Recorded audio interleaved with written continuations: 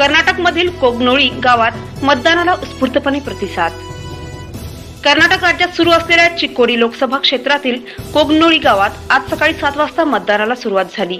यावेळी सकाळी आठ ते दहा यावेळी नागरिकांनी मतदानाला जाण्यासाठी एकच गर्दी केली होती.